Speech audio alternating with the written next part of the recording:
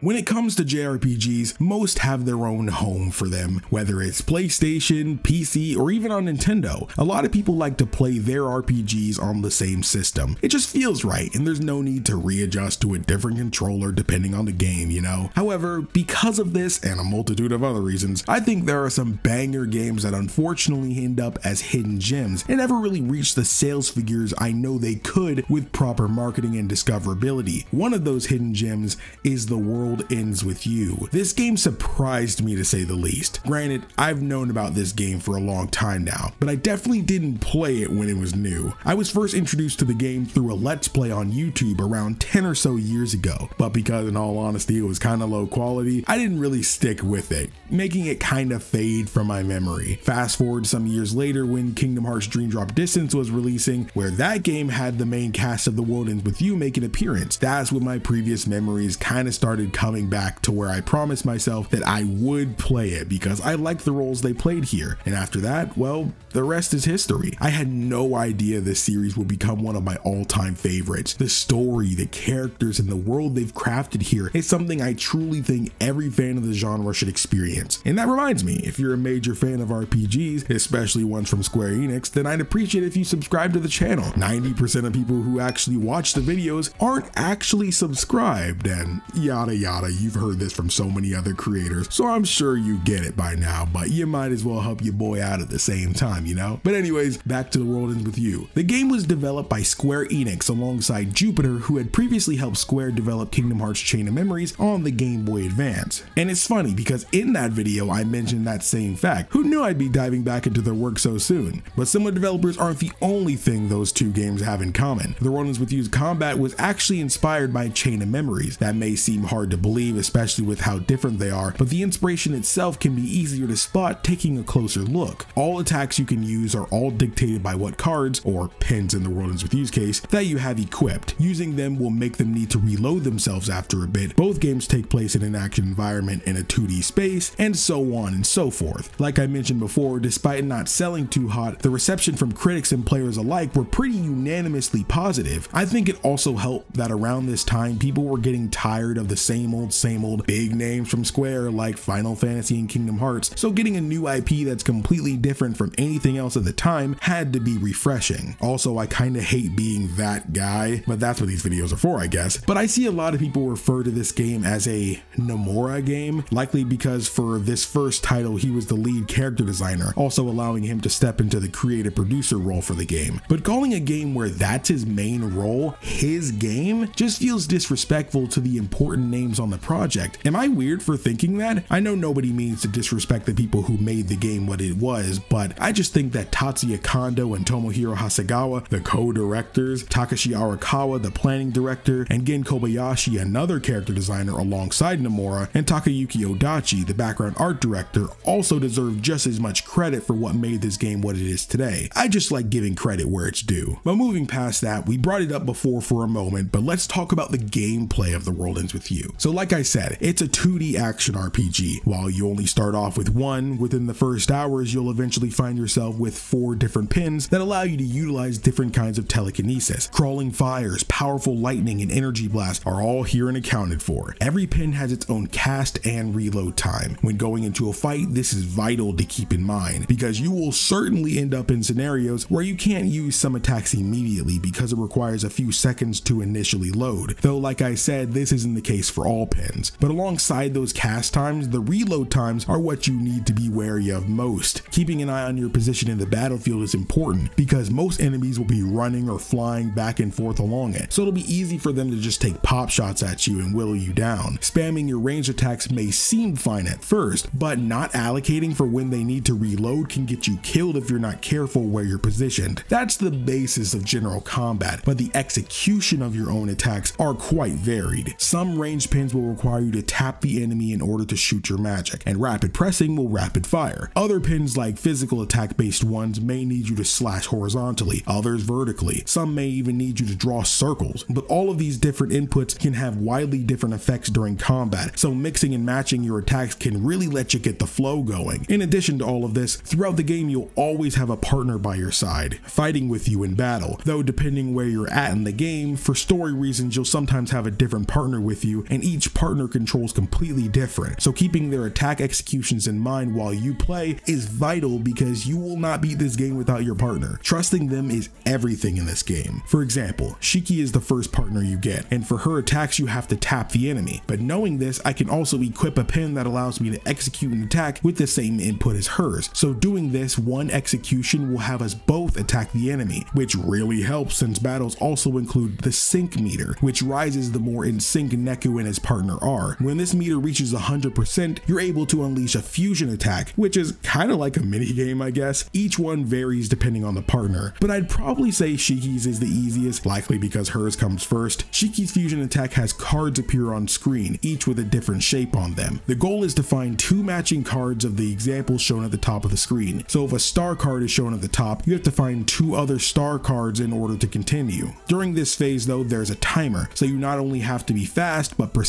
too, since however many matches you get will determine how powerful the fusion attack will end up being. I like this a lot because there's a bit of a scramble to choose wisely while keeping an eye on the clock. I hadn't played this in a while, but it seems like my reaction time wasn't as good as it could have been, so I often got at least one or two wrong during this phase, leaving me with an attack of 3.0 to 3.8, which honestly isn't too bad. Going back to the general side of things for a second because I couldn't find a better spot to talk about this, but I love how much fashion rules things in this game. Shibuya is a popular place with everyone trying to stick with the trends and present themselves well. That's a big point of things in a narrative sense earlier on, but it's also really important gameplay wise too. So Shibuya in this game is divided up into areas, and each of these districts all have their own different top trends and weak brands. In this game, the pins I mentioned before that you use in battle aren't the only things that are identified by the brand who makes them. The different kinds of clothes you equip on your characters are identified by them too, each of them having different effects, though at first you won't always know what this shirt for example offers, but the more you get to know the store clerks by visiting them, checking out the merch and buying from them, the more you'll unlock what each of these clothes pieces can do, so you can more easily optimize your wardrobe for combat. Being able to synergize with what clothes you and your partners have on for optimal buffs and effects alongside with what pins you currently have equipped goes a long way for the biggest factor I'm leading up to, and that's what brand is currently trending in your area. For example, if you're decked out in clothes and pins primarily from Mus Rattus, Hip Snake, or Dragon Couture, and you've been in quite a few fights, then don't be surprised if you notice a prompt that tells you your attacks from those brands are double damage now, or even another kind of buff. This of course only works for those specific areas, but sometimes the game will force you to use unpopular brands and fight to make them number number one trends. It's a really cool system that not only punishes you for not being trendy, but also rewards you for putting in the work to make something popular. I genuinely think the game would be lesser without this system. Okay, now that I've talked about that important stuff, I gotta take a minute to talk about this because this is insane. But the music in this game, bro, this game has a freaking masterpiece of a soundtrack behind it. I'm serious. This series next to Final Fantasy XIV has my favorite soundtracks from Square Enix, period period. There's so much variety to it. It's like you never know what kind of flow is coming up,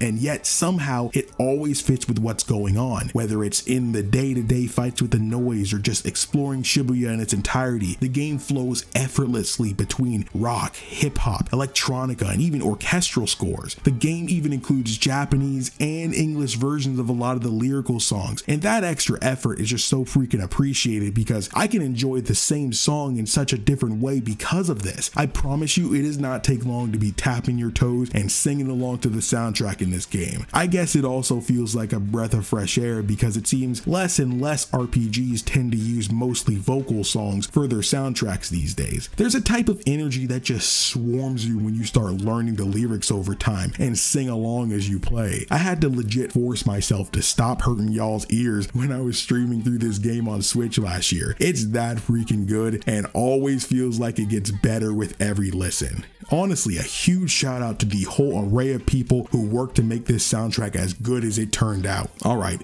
music tangent over. Sorry I had to get that out of my system. But going back to pins again though, you'll eventually notice that alongside their individual level up systems, you'll see that some pins can even evolve into new ones after enough use. This is pretty incredible because the evolved pin is practically always twice as good as the original. Though I'm sure when you have limited slots, sometimes some pins are just better to use than others. We can take one of the first bosses in the game, for example. He transforms into a giant noise-like creature and takes up a lot of the screen. Because of this, a single swing of his fist can hit you from practically anywhere besides where he's hitting from. So if he's swinging to the left, you should go right. But even though I've beaten this game numerous times, I still found myself losing to this fight because I genuinely think that due to how the control scheme of this game is, it's just slightly too clunky to comfortably evade this attack while still trying to interweave ranged and physical attacks. But as soon as I switched to all range attacks, I beat it before we even really started. It's much easier to pace your attacks when you're not worried about closing the distance and stuff. This way I'm able to get some good hits in, still dodge out of the way of his attacks, and position myself accordingly. Though, uh,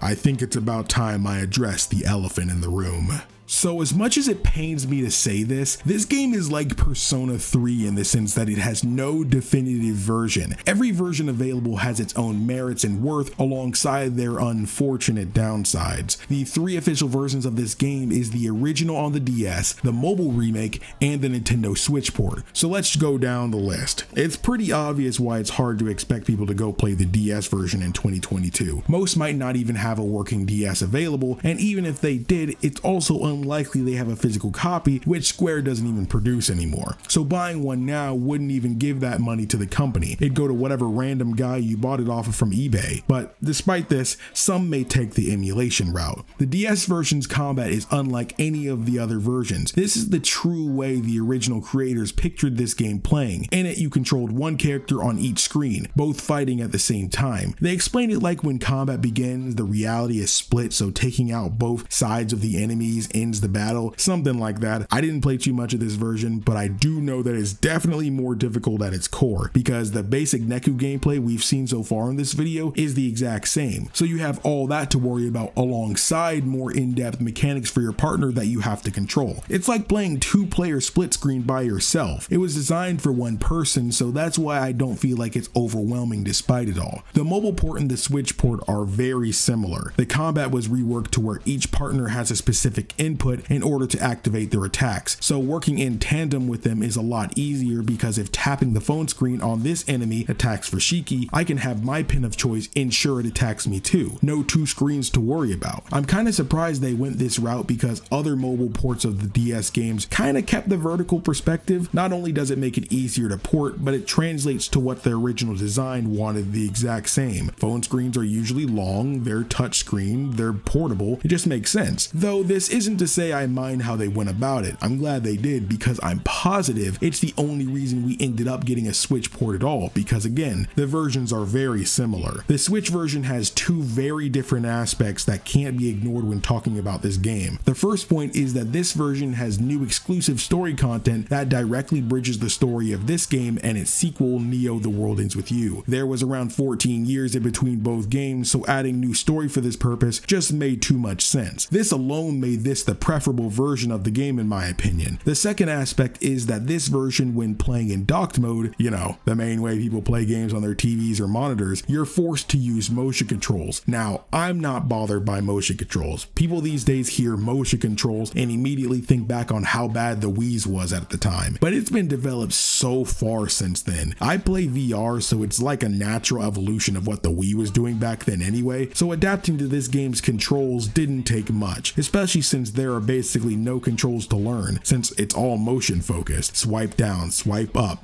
point at an enemy and tap a button. All of this feels so much better because unlike what a lot of people think, you don't have to have your arms held up or swing your arms around like a crazy person. On screen here, you can see me lay the freak back just chilling. If I didn't tell you I was using motion controls here, I doubt you'd even notice. That's how little effort is required to play this game and play it well. This kind of turned into a in defense of motion controls video for a minute there, but I always feel the need to bring it up because I know what the general consensus is about motion controls these days. But with all this said, there is one more version of the game I didn't mention, and it's how I played it for this video. What you've seen this entire time is actually the Switch version in handheld mode on an emulator. You see, the regular Switch version in handheld mode plays the exact same as the phone version, so I didn't include it before, but I'm bringing it up here because it actually makes a difference. While through emulation you can set up motion controls, I found it much easier to just switch to undocked mode, which is just the click of a button. And because handheld mode for this game is just touchscreen touchscreen controls, it works perfectly as a PC game using the mouse. I'm serious, you only need the mouse to play it and play it well. Now, I'm not going to get into all the legality behind emulation in this video. If you still think emulation is illegal, then there are tons and tons of videos that show legal proof on why it's perfectly fine to emulate games that you dump yourself. Moving on from that again though, this is legit the best version of the game. I didn't mind the motion controls as I said. I've streamed the game all the way through like that on the channel, but nothing beats that precision of a mouse. It genuinely makes me curious why they didn't port the game to PC, especially when they ported the sequel to PC later on for the Epic Games Store. Oh, and funnily enough, the day of writing this part of the script, it was shadow dropped for Steam as well, which freaking rocks, but man, Square sucks at marketing this series, but we'll talk more about that in the Neo The World Ends With You video. But yeah, if you own a copy of the game on Switch, I definitely recommend doing what you need to play it on PC. Maybe one day we'll get it natively on Steam and maybe even PlayStation and Xbox consoles too. But okay, I basically not touched on the story at all yet, and I don't usually take as long to do so. But there's a lot that needed to get talked about, so your spoiler warning comes now. The rest of the video will include footage of any point in the game, and I'll be talking about practically the entire narrative. So turn back now if you care about spoilers. We good? We're fine? They're gone?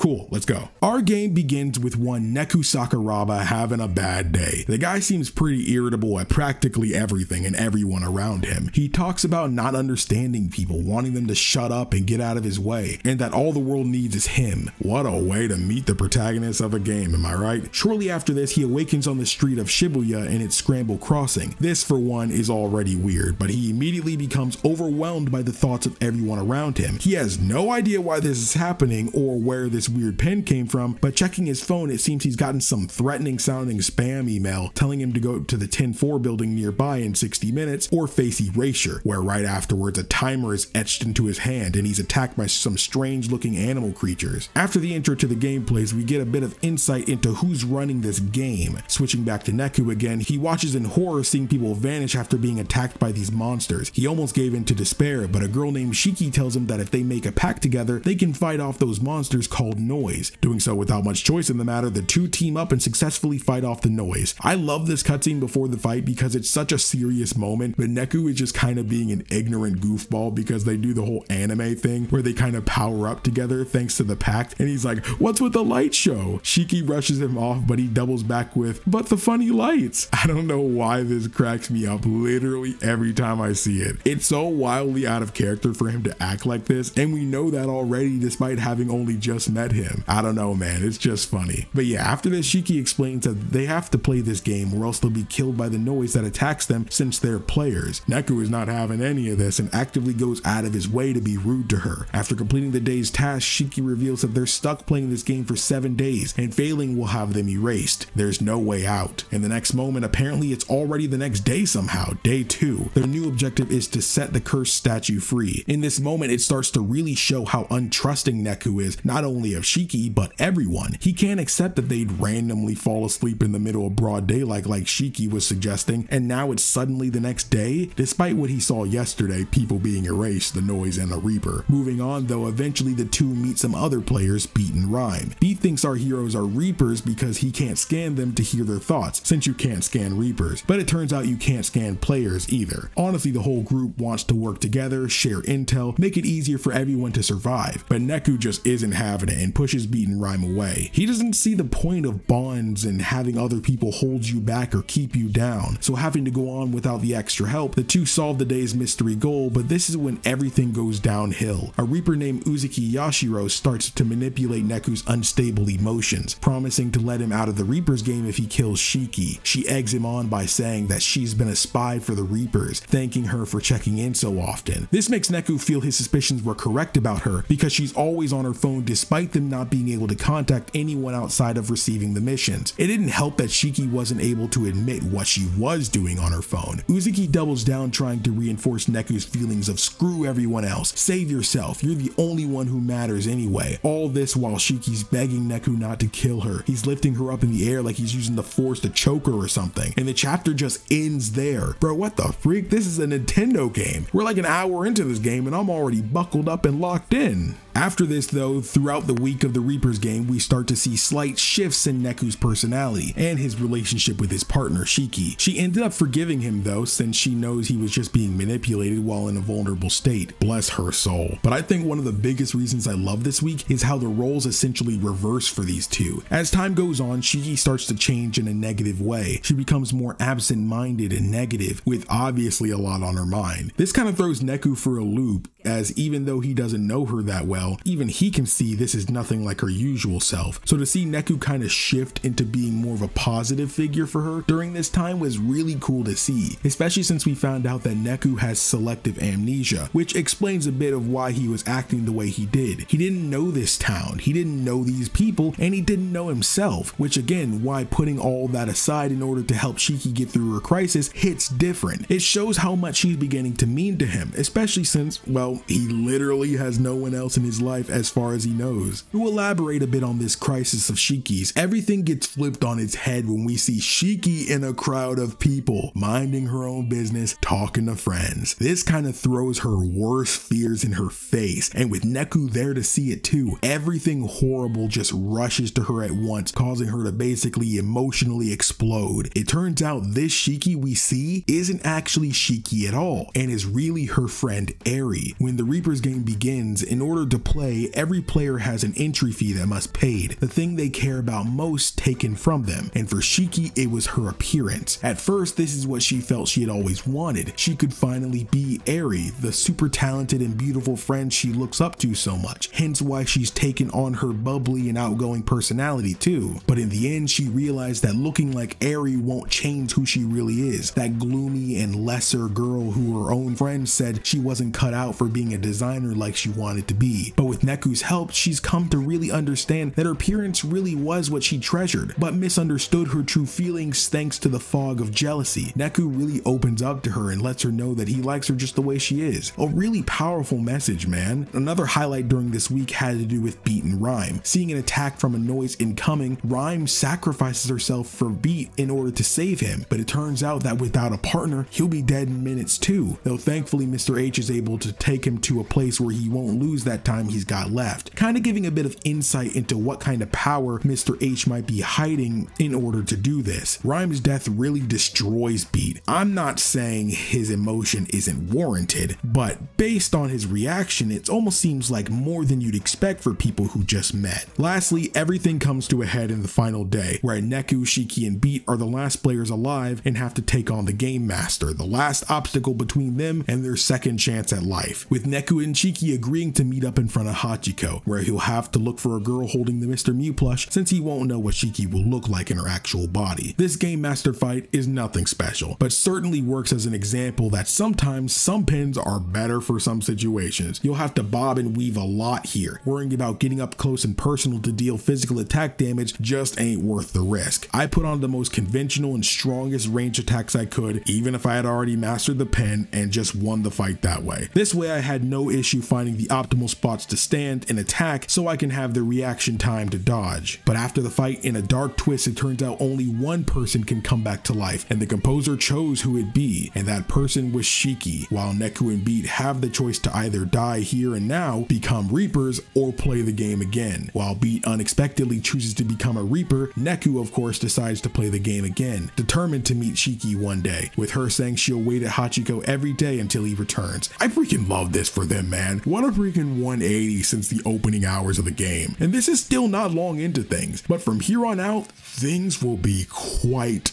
different. So week two is a strange week. Neku approaches things seriously from the get-go since he knows there's more at stake now. So it turns out since he still won the last game, his previous entry fee was returned and those were his memories, hence the explanation why he had amnesia in week one. But since he was beginning a new week, a new entry fee had to be taken. And since his memories are no longer what's most important to him, Shiki, his new most important factor of his life, is taken as the entry fee. This utterly destroys Neku Because it gives him the most conflicting feelings in the world. He cares about her, but as soon as she was finally able to get her life back with her brand new resolve regarding it, her life was snatched away again, and this time he feels it because of him. If he stuck to his guns about having bonds with others being stupid and pointless, then he wouldn't have to feel this pain and guilt. A bit of the old Neku comes out here, yet he's still determined to win the game, because this time Shiki's life is on the line too now. This life isn't just his own right now. He has to win for her sake. Man, I love how much the romance in this game isn't completely in your face. They don't have to have some emotional kiss scene or holding hands or even any I love yous. You can tell by their actions and circumstances alone that they care for one another, and that's just beautiful writing and direction. But in this new week, we've got our brand new partner and fan favorite, Joshua. He's quite the mysterious guy. Not only can he be scanned unlike other players, but based on how he acts, it seems like he knows a lot more about what's really going on here than he should. This does not sit right with Neku, naturally because of his untrusting nature, and that kind of even reflects through gameplay. With a new partner, we've got new mechanics for them. So unlike Shiki, Joshua takes things a bit forward with his input by having to swipe downward on an enemy for him to summon what's basically just junk to fall down on enemies. He definitely packs a punch too, and with this new input, it makes what pins I use need to change a bit. With Shiki, in all honesty, there's practically no reason to use physical attacks since range attacks alongside her will fill the fusion gauge faster since you're more likely to be in sync using the same input. Josh has me wanting to balance my physical and range attacks since my physical attacks are what I can use to sync with Josh better. But because range attacks are just really strong in this game, I don't want to completely remove them or even have less of them than physical attacks purely because of how dangerous getting close up and personal can be. Throughout the week, Neku begins to suspect him more and more. He's also getting weird flashbacks taking place in Utagawa. More and more of events become clearer as the week continues, showing that both the game master this time around, Minamimoto, and Joshua were both present when Neku was killed. Initially, Neku concluded that it was Joshua who had done it, because from what he can tell from the flashback at the time, it was clear that was the case. But it turns out he was going for Minamimoto, not him. Minamimoto being who shot Neku from the back. I really like this being what ends up happening because it lets the advice Mr. H gave Neku back in week one still hold true, because in the end, Joshua sacrifices himself for Neku, taking a last ditch effort attack from Minamimoto. I don't know, I just have this thing when it comes to this game that Neku has such a hard time with basically everyone around him, but Mr. H was someone that Neku always felt strangely drawn to, so for his advice to hold true to the end really puts a smile on my face. Nao that I think about it, this week has some of the best story moments so far, like during week 2 day 4 while you're helping 777, you know, the Reaper we helped alongside Shiki in the first week, find him and his band's missing microphone. You see Sota and Now after they won the Tin Pin tournament on a previous day. At first they kind of seem like airheaded guys who aren't taking this game seriously, but man they give Neku such solid advice that you can tell from his face alone that he truly needed. Joshua tries to scare him off by calling them out for being friendly to other players, since at the end of the day, they're not friends, they're competition. But they freaking shake it off like it's completely okay. Neku was just about to blame himself for Shiki not getting to go back to her life, but they completely sweep over it, letting him know there's no reason for him to feel guilty, because her being his entry fee means he truly cares about her. So it's not like it's his fault. For each other, they'd be willing to be entry fees if it meant the other could have another chance. They'd even play the game a million times, whatever it takes for the both of them to live in the real world or the RG again. They don't want to fight other players either, since at the end of the day, they all want to be alive again. Nobody deserves it most, after all. Everyone's got their own dreams and ideals too, none outweighing another's. This was a really powerful message. I think it really hits too if you paid attention during week one. You can actually find these two still alive just going about their business with no idea they'll be dead soon.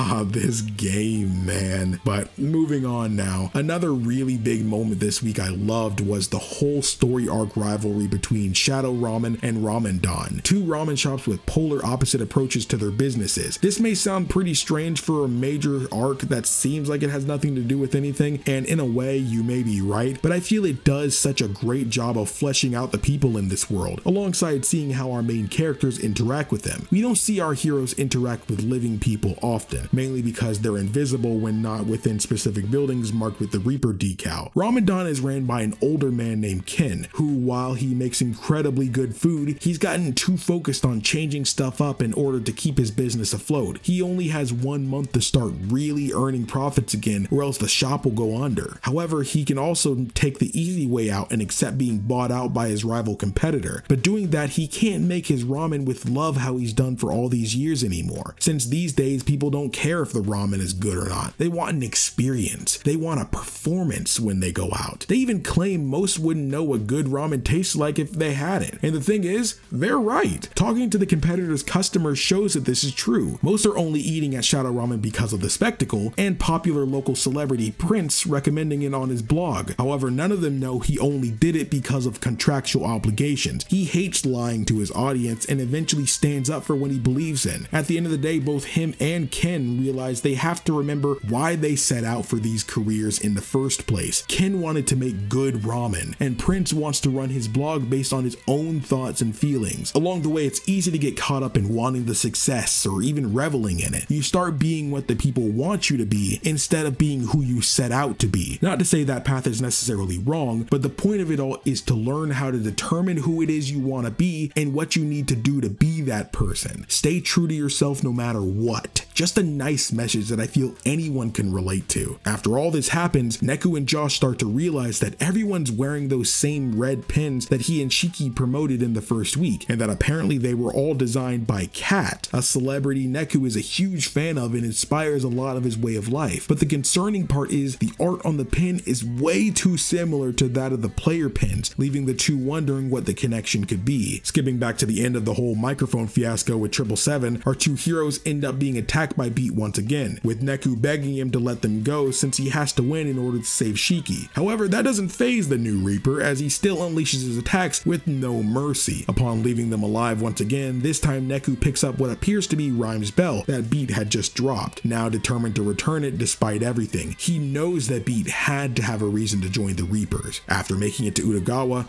Neku talks about how he used to frequent this place after school by himself. This reminds Josh that Neku is an awful lot like Shibuya's UG and goes into detail about how this other plane they now exist on exists all over the place and Shibuya's UG is just one of many, basically confirming there are Reapers games all over the world, but they all have some different rules they follow and they're impossible to travel between. That is, unless some unforeseen event occurs to that UG. I like this scene a lot because as it continues, Neku begins to question the way of life he's been living, because he's done his best to live by the philosophy he learned from Cat, but he also knows that just like Mr. H said, the world ends with him. So if he opens up more to others, then maybe he can expand his world too. Later on, we find Minamimoto talking to himself and drawing some strange art on the ground, this hinting that Minamimoto has been the one creating the taboo noise they've been encountering that's killing off players and reapers alike. Making it to the cat mural, Neku scans Joshua one more time in an attempt to learn the whole truth of his death, this being where Neku believes Joshua is the one who killed him. On day 5, he even confronts Josh about being the one who killed him, just giving him sly replies neither confirming nor denying it. It's more messed up too because he kind of baits Neku into confronting him because when he does, at the end of the day, it doesn't matter if Josh killed him or not. They've still got two days left and he's gonna have to work with Josh regardless. And on day seven, like I mentioned earlier, the truth came forward about how Josh didn't actually kill Neku and that it was Minamimoto the whole time, with Josh sacrificing himself to save Neku in their fight against this week's Game Master. This consumes Neku with guilt because, like Mr. H said, all he had to do was trust his partner, but confronting him without all the facts likely led to this conclusion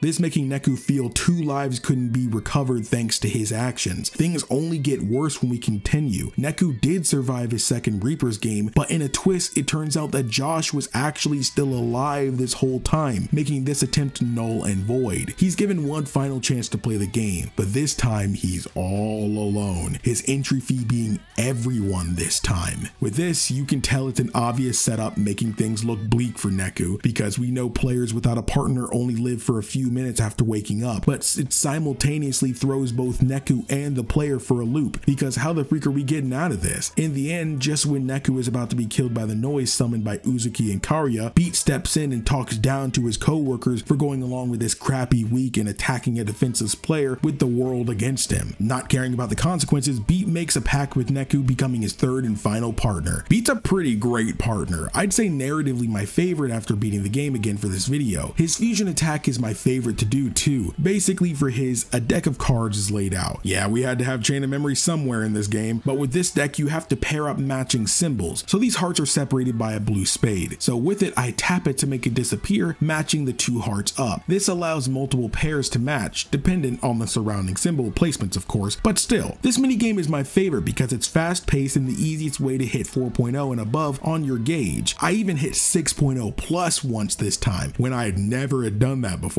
so that made things even more memorable. However, I say all this, but Beat isn't my favorite partner to play with though. His input is kinda strange. It always ends up like this for him. I believe the input is to tap an enemy to summon him and scratch the enemy in varying directions like up and down and left and right to execute his various attacks, but sometimes it felt like I only scratched enemies and he would be summoned too. I never had a problem summoning him unless it was against the boss. Maybe I just never read his tutorial right over multiple playthroughs, but whatever, he still clutched out tons of fights. During week 3 I made sure to mainly focus on enemy tap pins and scratch pins. This is the first playthrough where I got all 6 pin slots too. You get the first 4 throughout the story, but after that 5 and 6 can be bought from stores with the right amount of scarletite and rare metals. I could have gotten my 6th earlier, but I misread the shop I was at and just said screw it and bought something else, making when I actually found the right shop, I was one rare metal short. But it all worked out in the end. But going back to week 3, this is a strange final week. This time, Konishi Kitaniji's right hand was the game master, and because of this, she ends up posing a challenge to our heroes. She'll be in the same place for the whole week, and all they have to do is beat her before the week is over. But during this week, a lot of it is used to set the stage for what's truly happening to Shibuya, and we find out a ton of stuff. Like Minamimoto is back because he actually planned to be erased by his own attack last week when he killed Joshua, because the Taboo Noise Refinery sigil was already set up to revive him, making him a Taboo Reaper.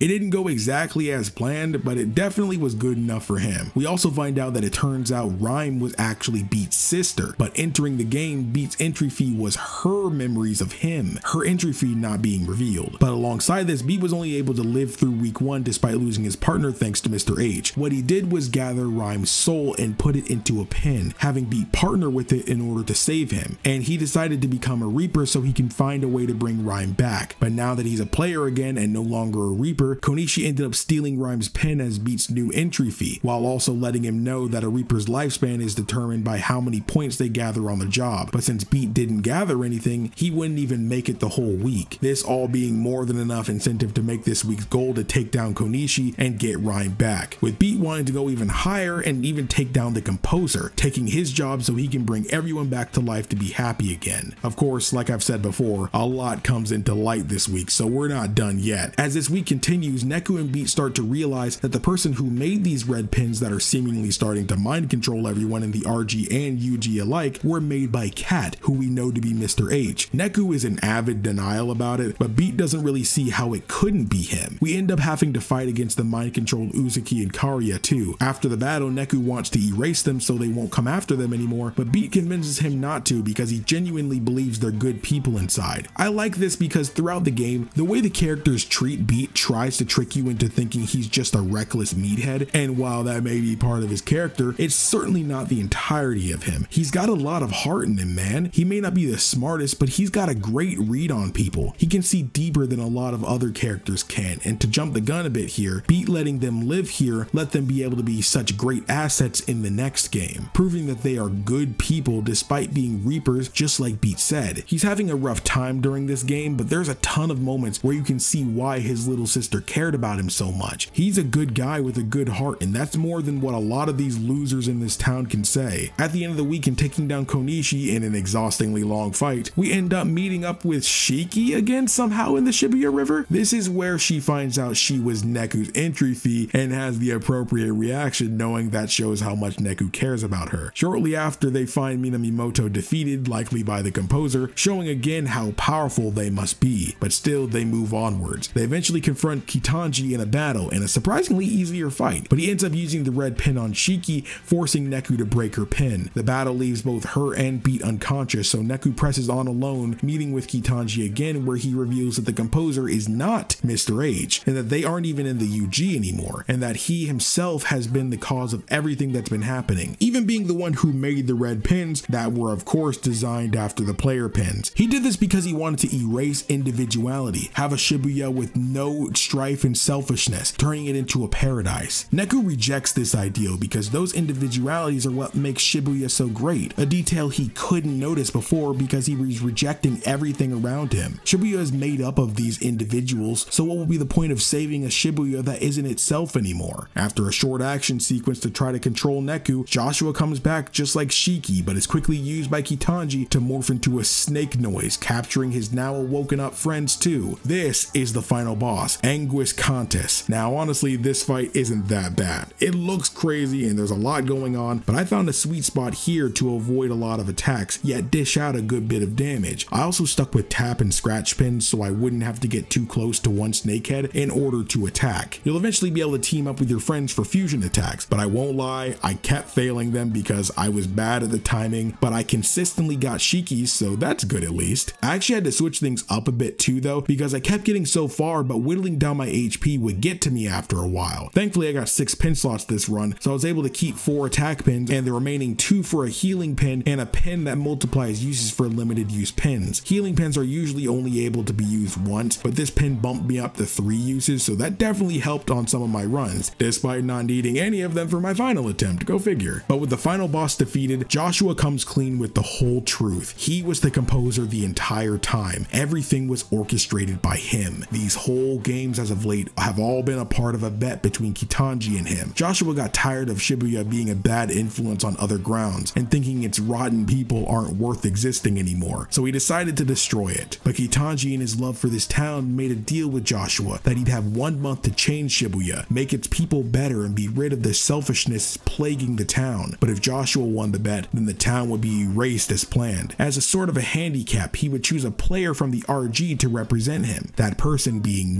He went to the RG to gather him, but Minamimoto attempted to kill Joshua while he's weaker in the RG, so that he could become the new composer. This was a bit of the memory we saw before, but in actuality, Joshua did kill Neku since he needed him to become a player representing him. So in the end, if Neku won the game, then Shibuya would be destroyed, which they just accomplished. But in a fit of mercy, Joshua gives Neku one last chance. They have a duel. If Neku wins, he becomes the composer and Shibuya lives to see another day. If Joshua wins, then Shibuya is gone. In the end, despite Neku wanting to do it for Shibuya's sake, he can't bring himself to kill a friend, with Joshua shooting him in the next moment. But little did he know that hesitation and decision to see Joshua as a friend, despite it all, is what triggered a change of heart in him. Not only did he spare Shibuya, but he brought Neku and friends back to life, with Neku waking up in the Scramble Crossing, flesh and blood once again. A week passes, and he reflects on how much the Reaper's game changed him for the better, and of the people who caused that.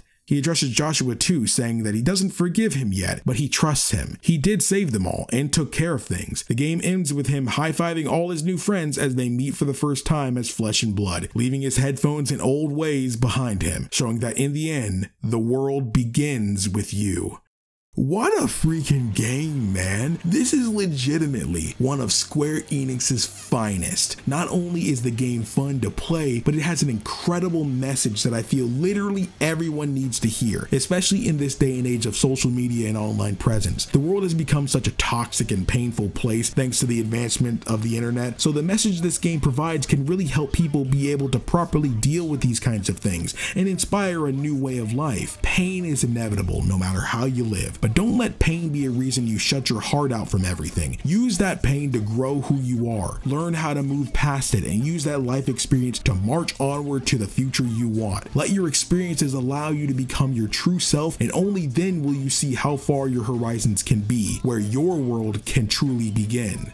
I wanted to end this video with a rant of how amazing this game is, but how terrible Square Enix is for not promoting this series, and how doing so caused it to go nowhere near as far as it could. I wanted to, I really wanted to end it this way. I had it all typed out, but I couldn't. The World Ends With You is too great of an experience for me to end this video on such a negative note. So while all of what I said about the series' lack of marketing is true, I'll pick my battles wisely and save that rant for another day. So instead, let me end this off on a positive note. The World Ends With You is one of my favorite games of all time, not only for its incredible story or its really fun gameplay, but for its message and how it chooses to tell it. I don't like it when I feel like some of those games are trying to preach to me in order to get their message across. This game does it in a more subtle way to where it's so gradual that it just kind of dawns on you late into the game. And after that, it just makes the ending that much more sweet. Though I will say now, I'm aware I haven't mentioned the added story from the new Switch version of the game. I know it's vital for a huge part of why things are the way they are in the sequel, Neo The World Ends With You, but I find it better narratively to bring it up in that game's video, since I won't have to withhold certain info at that point. So with that, if you haven't already, please play The World Ends With You. It's not the most accessible game, thanks Square, but it's still one I beg they'll port to other consoles and PC at some point, or at least at the very least, you all find the easiest way to experience it yourself if you catch my drift. I won't drag this on for any longer. We've got some more adventures ahead of us. I said it in a recent live stream, but my goals for the remainder of 2022 is to have this video go up alongside ones for NieR Replicant, Octopath Traveler, and Neo The World Ends With You. And if we have time, I'd like to get Kingdom Hearts 2 done, but it's not a priority. Next year's main series will tackle our Final Fantasy, Trails, and Fire Emblem. I'll be going in order for Final Fantasy and Trails, but for Fire Emblem, it'll be a bit different. I'll likely start with Three Houses since it's popular and I love that game, but never did the Black Eagles route. So after that video, I'd want to ask you all which to do after it. So we'll just hop around the series wherever you all want to go since I practically no experience with this franchise. I'm also going to be streaming games that aren't priorities for videos like Triangle Strategy, courtesy of Square Enix. It'll get its video eventually, but because I'm so booked for the time being, streaming it just seems like fun. Actually, by the time this video is live, we'll probably have already done a few streams of it. You can catch the playlist in the description box below. But thank you all so much for watching. My name is Kingdom Ace, and remember to subscribe to the channel if you're excited for more, and I will see you all in the next video.